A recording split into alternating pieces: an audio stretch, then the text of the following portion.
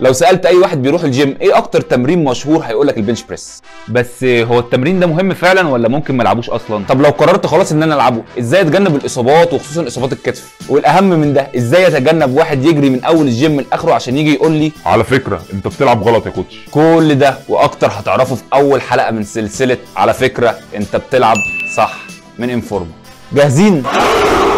يلا بينا.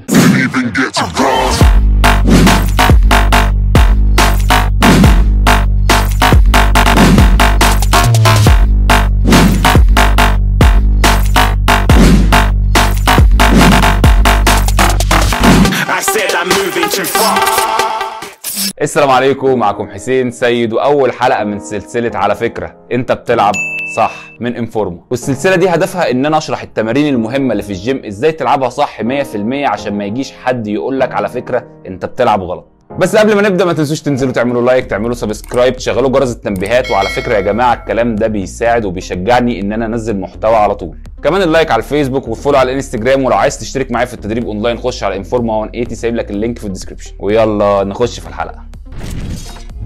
لو عملنا استفتاء كده للناس اللي بتروح الجيم على أشهر تمرين بيتمرنوه في الجيم هيقولوا لك ال bench press. شهرته جاية من إن الناس زمان كانت معتمدة عليه اعتماد أساسي في أي تمرين chest ده يا راجل 99.9 من 10% من الناس اللي بتروح الجيم وهتتمرن chest ما بتقولش إنها هتتمرن chest بتقول إنها هتتمرن bench على اسمه. وأهمية التمرين ده برضو إن هو حاجة اسمها compound movement يعني تمرين مركب بيشغل عضلات كتير في الجسم وأنت بتتمرن. زي إخواته مثلا ال deadlift وال squat. بس الحلو ما يكملش لأنك لو ما لعبتوش بتكنيك صح هتعرض نفسك لإصابات مفصلية وخصوصا مفصل الكتف كتيرة قوي. وياما ناس قعدت في بيوتها بسبب إصابة في الكتف تعرضوا لها لما كانوا بيتمرنوا التمرين ده. وفي الحلقة دي هقول لكم إزاي تلعب التمرين ده بتكنيك صح عشان تتجنب الإصابات المفصلية. وتعرف تزود الأوزان فيه بكل أمان. بس الأول لازم نسأل نفسنا سؤال إيه هي العضلات المستهدفة من التمرين ده؟ لو جينا كده عملنا لستة بالترتيب للعضلات المستهدفة من التمرين ده هنلاقي إن أول عضلة هي ال pectoralis major أو عضلة الصدر. وعضلة ال chest متكونة من جزئين. الجزء العلوي والجزء اللي تحتيه ال sternal head وال sternal head متكونة من الجزء اللي في النص والسفلي. فالتمرين ده تركيزه الاكتر على ال sternal head كمان بيشغل لك عضلة ال tri والكتف الأمامي. فبتمرينه واحدة يا معلم ممكن تشغل العضلات دي كلها. نيجي بقى للجزء الرئيسي من الحلقة. إزاي أتمرن التمرين ده بتكنيك صح؟ تعالوا واحدة واحدة ناخدها خطوات. أول خطوة هي وضع راسك على البنش. هل تبقى ورا كده؟ ولا تبقى قدام كده. هو الحقيقة الاتنين غلط. الصح إن عينك تكون تحت البار بالظبط. ده هيظبط لك مكان جسمك كله على البنش أو الدكه تاني خطوة وضعية جسمك تبقى إزاي على البنش. ناس كتيرة أول ما تنام على البنش بتخلي ظهرها فلات زي كده وده مش وضعية صح. الصح إنه يبقى فيه قرش بسيط أو قوس بسيط في ظهرك. ده اللي هيساعدك إنك تلعب بأمان وتزود الأوزان وتتفادى بعض الإصابات. وعلى فكرة ال arch أو القوس ده مش لازم يكون كبير خالص ممكن يكون بسيط قوي بس المهم التلات نقط دولت ما يكونوش على نفس الخط. طيب أعمل ال arch أو القوس ده إزاي؟ عندك طريقتين. الأولى وأنت نايم امسك ال rack وحاول تغرز traps ك في الدكة وترفع ظهرك من فوق وتركز إن المؤخرة لامسه ال bench. والطريقة الثانية هي إنك ترفع رجلك من على الدكة وترفع كمان المؤخرة وتغرز traps ك في الدكة وتنزل رجلك واحدة واحدة. هتلاقي نفسك عملت ال arch ده. وهنا لازم تتأكد من ثلاث حاجات راسك traps ك والمؤخرة لامسين الدكة. ثالث خطوة هنا هي وضعية رجلك. ناس كتيرة بتنسى رجلها وهي بتتمرن أو بمعنى تاني ما بتعرفش تحط رجلها فين وهي بتتمرن. رجلك مش كده ولا كده. لا لا لا ولا كده برضه إحنا مش على قهوه رجلك تكون على الأرض وراجع أكتر مسافة ممكنة لورا بشرط تكون لامسه الأرض وتكون في شكل سبعة. بكده هتعمل حاجة اسمها leg drive هتدي لك ثبات أكتر وهتخليك تشيل أوزان أتقل وتتفادى الاصابات رابع حاجة وأنت نايم على الدكة حاول تتأكد إنك عامل حاجة اسمها retraction of scapula يعني تضم لوحين الكتف على بعض. ده هيخليك في وضعية أمان أكتر تتفادى الإصابات وهيخليك تركز أكتر على الصدر الخطوة الخامسة أمسك البار منين؟ قاعدة عامة عايزك تعرفها كل ما ضيقت مسكتك للبار كل ما التمرين ده ركز على ال tri والكتف الأمامي أكتر.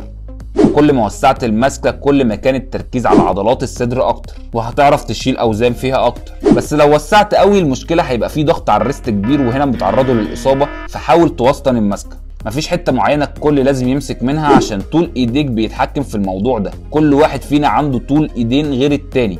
فأنت المفروض تجرب وتشوف إيه اللي أريح لك. حتى لو خليت العلامة اللي على البار دي تمسك من بعدها بشوية. لو استريحت من المسكة دي تمام لو قادر توسع وسع شوية المهم تكون مستريح وانت ماسك البار كمان في ناس كتيرة بتستريح في الماسكة دي والماسكة دي اسمها suicide grip يعني الماسكة الانتحارية. بتتسمى كده عشان هي بتعرضك لخطر كبير جدا إن البار يفلت من إيدك ويقع عليك. فحاول عشان الأمان تمسك الماسكة الكاملة ولف صباعك الكبير على البار. الخطوة السادسة هي وضعية ال wrist وانت ماسك البار. بلاقي ناس كتيرة بتشيل البار بالطريقة دي ال wrist عندها بيبقى رامي خالص. وده بيخلي الضغط عليه عالي قوي كل ما تزود وزن بتشيله أكتر فبتعرضه للإصابة أسرع. الصح هنا هو إن ال wrist يبقى تحت البار بالظبط. فحاول تتأكد هنا بعد ما تشيل البار إنك تلف إيدك عشان تتأكد إن ال wrist تحت البار على طول. الخطوة السابعة وهي زاوية كتفك وكوعك اللي لازم تركز فيها قوي قوي قوي عشان دي المسؤولة عن إصابات كتفك. حاول تدخل كوعك لجوه شوية عشان يعمل زاوية من 30 ل 45 درجة مع كتفك. بس ما تعملش فيها حريص قوي وتضم قوي عشان برضو ده ممكن يسبب إصابة. خير الأمور الوسط. الخطوة الثامنة هو ال range of motion أو المدى الحركي للتمرين ده. المدى الحركي للتمرين ده زي ما أنتم شايفين دي وضعية البداية لحد ما البار يلمس الجزء السفلي لل chest عندي وبعد كده نطلع تاني. اللي الناس برضو بتغلط فيه إن هي ممكن تنزل للصدر من فوق أو من تحت قوي. برضو لو أنت مش عارف تخلي البار يلمس صدرك يبقى خفف الوزن عشان الوزن اللي أنت بتلعب بيه ده تقيل. المدى الحركي الكامل زي ما قلنا هو من وضعية البداية كده لحد ما يلمس الصدر تحت. وبعد كده نطلع تاني. الخطوة التاسعة وهو مسار البار. ناس كتير قوي ومنهم أنا في الأول مثلا كنت بطلع وأنزل بالبار في خط مستقيم بس ده اتعمل عليه أبحاث وطلع مش أصح حاجة. عشان هنا وأنت طالع بتخلي فيه ضغط كبير على كتفك الأمامي. لازم تكون نازل وطالع في خط مايل كده. تنزل تلمس تحت وتطلع فوق مكان ما ابتديت.